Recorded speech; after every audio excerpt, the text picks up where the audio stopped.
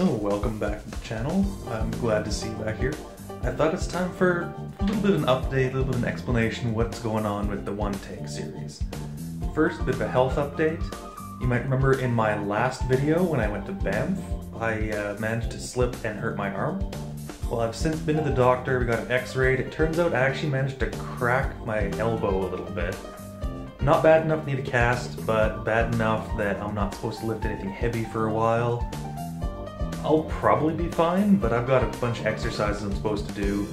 It's got one heck of a bruise. I'll try and see if I can get a picture, probably put it there or so.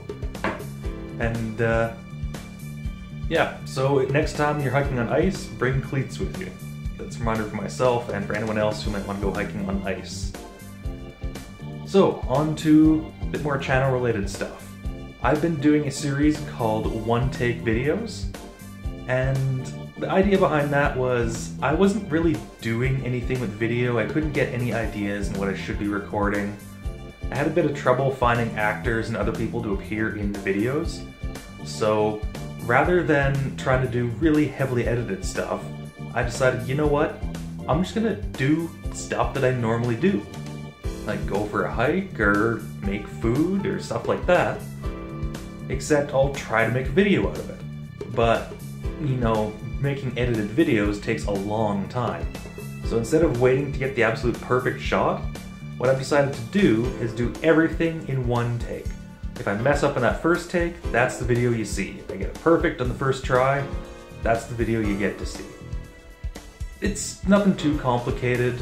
In the future, I might try for a bit more edited video, but for now, that's all we're gonna have time for. And that's really all I had to say for now. So I hope you're enjoying the channel so far. Trust me, there will be more videos going up. I don't know what they are yet, but there will be more videos. And uh, see you in the next video. Oh, and I forgot, uh, I'm recording this about 30 seconds later.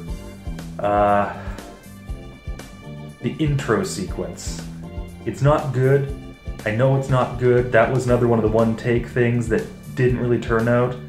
I'm gonna be putting a new one on new videos. Just like everything else, I have no clue what it's gonna look like yet, but it's not gonna look like that because that looks and sounds absolutely awful. So like I said in the last one, hope to see you next time, and uh, bye.